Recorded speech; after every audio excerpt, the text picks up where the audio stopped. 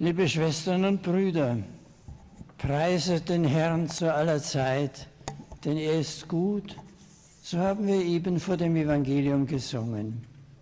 Ja, wir haben wirklich Grund, Gott von ganzem Herzen zu danken. Wenn wir uns in diese Stadt zurückversetzen, in das Elisabeth Jahr 1981 vor 30 Jahren, zur Zeit der DDR, Wer hätte geahnt, dass wenige Jahre später Mauer und Stacheldraht an den Grenzen fallen würden?